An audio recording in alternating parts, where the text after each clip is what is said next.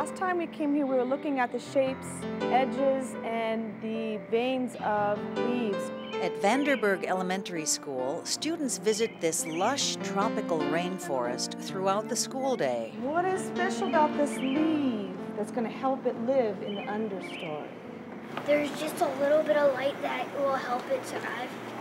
The rainforest biosphere is a living learning lab, a controlled environment full of tropical plants and animals that students study and help care for. Look at the structure, guys. Look at this leaf. Is this the kind of leaf that we looked at yesterday? It's a million dollar oasis, designed with student input, built and paid for by community volunteers. What it took was the creative minds of many people uh, and also getting the community involved. It was not funded by our school district. We were able to get people to believe in our vision in order to make this become a reality. So what we did, in fact, we created a rainforest here in the desert so that children can compare the rainforest biome with the desert biome.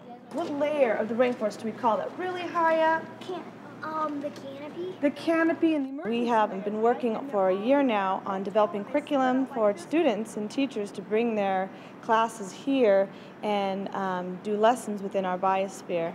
Every grade level is designated a theme that runs through the rainforest. For example, third grade is teaching about the peoples of the rainforest, and they come in here and they can do science or they can do anything within the curriculum. So now, does anybody know what an artifact might be? An artifact is something from long ago that people used to use. Within this environment, they're learning how everything is connected. It's not just plants and animals, it's how people are interacting with the plants and animals and the types of effects that we have on the environment.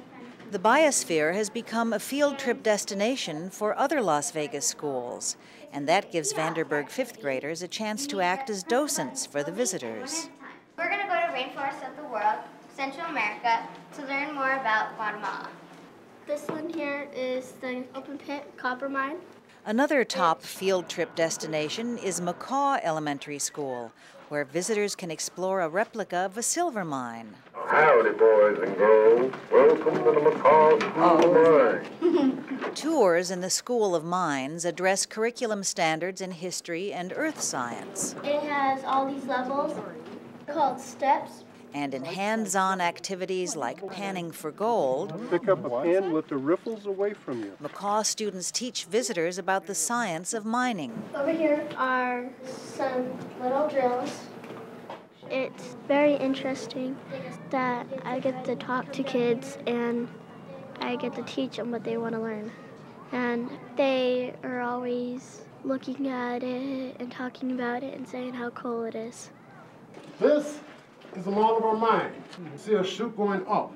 Community volunteers built and financed the School of Mines, and local architect Bill Snyder volunteered to design it. We went to Disneyland and we went to the Indiana Jones ride, where they created the illusion of taking people down underground and into a cave situation. So we sort of figured out with the resources that we had what we could do. And uh, it's kind of funny because the company that built the Indiana Jones ride actually did the work here for us as well. And what we did to get them to do that, we had several kids help us write pleading letters to them. And we took the model that we built of this and we set it in their lobby for about a month before they said, okay, we surrender. How can we help?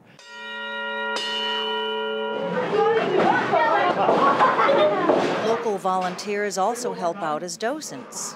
Right now, I have about 35 volunteers, and most of them are retired. Many of them are in their late 70s or early 80s, and they love interacting with the kids.